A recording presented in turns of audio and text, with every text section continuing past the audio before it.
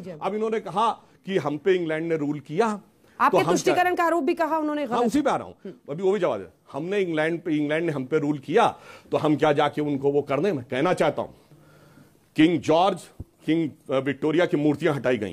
कोई क्रिश्चियन नहीं कहता मेरे बाप का था। कोई क्रिश्चियन नहीं कहता कि India Gate gateway of India मेरे बाप का है।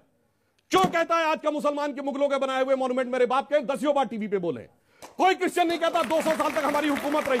तो क्यों मुस्लिम कहता है 800 साल मेरी हुकूमत